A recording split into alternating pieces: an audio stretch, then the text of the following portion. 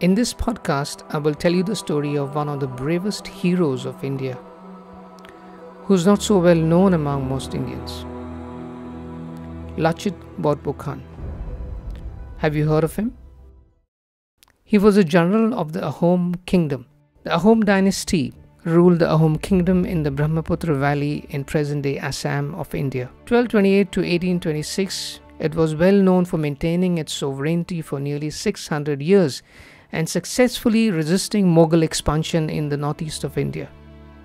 The Ahoms defeated the Mughals 17 times in their attempts to conquer the northeast of India. The best passing out cadet of the National Defense Academy, NDA, is conferred the Lachit Borphukan Gold Medal each year since 1999. His bravery is respected by the Indian Armed Forces even today, but his story is not so well known to the general population of India. Originally named as Lachit Deka, Lachit Borphukan, the Ahom commander, was born during the early 17th century at Betioni in the Golghat district of modern Assam. Lachit received military training at an early age and joined the Ahom king Jayadhwaja Singha 1648 to 1663 as one of the king's personal staff. Because of his early military training, Lachit was promoted to the post of commander of the Simulgar fort and later as superintendent of the royal guards. And finally, he was appointed as Borphukan by King Chakradhwaja Singha. Then onwards, Lachit Deka was known as Lachit Borphukan. The position of Borphukan is one of the top five councillors in the Ahom kingdom. Since January 1662, the Ahom kingdom was facing continuous Mughal invasions. At a certain point in time, the Mughals captured Guwahati and a major chunk of the Ahom kingdom. The Ahom king Chakradhwaja Singh appointed Lachit Borphukan as the commander-in-chief of the Ahom army. Lachit started preparations and fought the Mughals and won Guwahati back for the Ahoms in 1667. The Mughal emperor Aurangzeb was furious.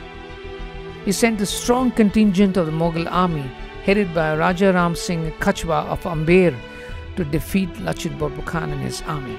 Raja Ram Singh Kachwa was supported by a massive 71,000 Mughal troops with infantry, cavalry, archers, and gunners.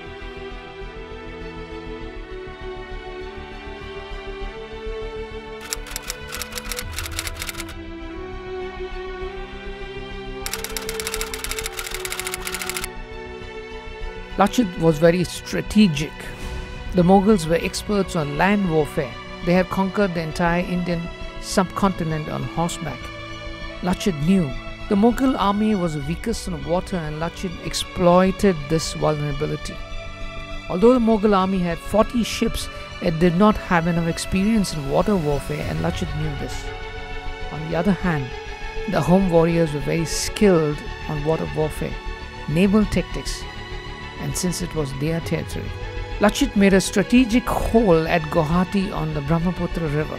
When the large Mughal contingent approached the Ahom army, Lachit strategically retreated, giving the Mughals an idea that his army was somehow afraid. It was an area called Sarai Ghat. He regularly harassed the Mughal army with guerrilla tactics. The Battle of Sarai Ghat was a very intense battle. Sarai Ghat is an area where the Brahmaputra river is quite narrow. Lachit planned his attack there. But on the day of the battle, Lachit fell very ill. He was bedridden. And the Ahom warriors were all demoralized at that point in time because it was a very important day for them. But Lachit put aside his illness and led from the front. During the last stand, the Mughals loaded all the ships with cannons and warriors for the final assault. Lachit Borphukan made the inspiring speech. When my countrymen are suffering from an invasion and when my army is fighting and sacrificing its life, how can I think about resting my body due to a mere illness? How can I think about going home to my wife and children when my entire country is in trouble? When the soldiers heard his speech, they were empowered and motivated, and they fought with fierceness. Lachit led the front despite his illness, employing all the tactics he had learned during his lifetime. the Mughal army fell into disarray, Lachit gave them a chase until they left the Ahom area. Their attempts and hold over Assam was once and for all ended. Because of his unparalleled heroism, many people in Assam use Lachit's name to win over any kind of a depressing or defeating situation. Lachit Borphukan is an example of bravery, courage, and statesmanship. The Lachit Divas is celebrated on November 24th every year in Assam. Let's all salute to one of the greatest heroes of India, Lachit Borphukan. I hope you enjoyed this podcast. Thank you.